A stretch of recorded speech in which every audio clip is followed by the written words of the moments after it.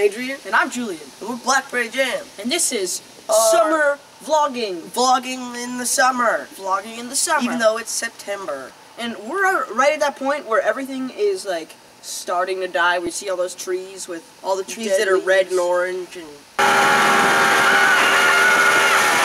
Alright, so what did we do this summer, Adrian? well, this summer we did a lot of things. If you've ever been tubing, you'll know what we're talking This about. was just one of the main things. That, oh, whoa, whoop. I mean, that's just called tubing. Everyone knows what tubing is. Okay, well, for those of you who don't know what tubing is, it's this big flat tube that gets dragged across the water at 40 miles an hour.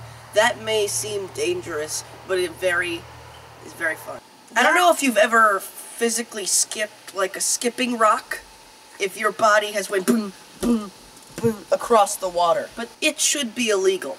This thing should never have been invented into the. You'd be bouncing about four feet off the water every time, like bang, bang, bang, and eventually you'd go toppling off and flying into the ether. When you jump off the back of a boat at 40 miles an hour, your whole neck is like. "Ah, ah." Imagine that, but just getting thrown off of a tube onto your back at 40 miles an hour.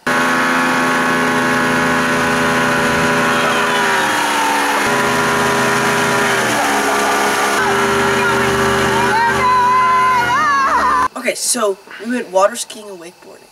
Water skiing is exactly how it sounds. You're skiing with these little like panels on your feet, and you're like they're really hard to get on your feet because they're like plastic and rubber. It's like trying to put your foot in a shark. Just imagine that.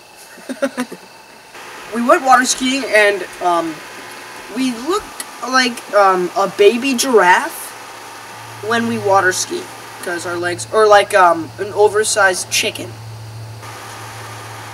Yeah. So that was actually really funny to watch each other on water skis. And Adrian tried wakeboarding, but we could never.